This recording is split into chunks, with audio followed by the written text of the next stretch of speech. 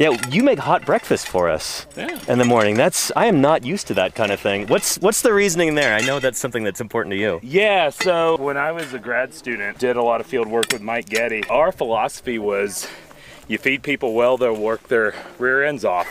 uh, and, um, you know, with a lot of what we do, it's it's hard not to run on calories. Like you Yeah. burn a lot of calories if you're prospecting, if you're throwing a pick and shovel like we were yesterday. Yep. And um, yeah, I mean, I know there. I've I've been miserable in the field. We won't say who was running the camp. Okay. Uh, Diplomacy. but diplomacy.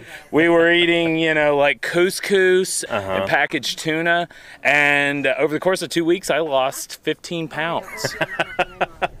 A lot of that's probably muscle. It's like you're- Yeah, you're, yeah. losing and important stuff. I don't know. Part of uh, running a good camp is Yeah. feeding people well. That was kind of instilled on me like early on in grad school. So Yeah. I keep doing that. You know, we'll uh, tonight.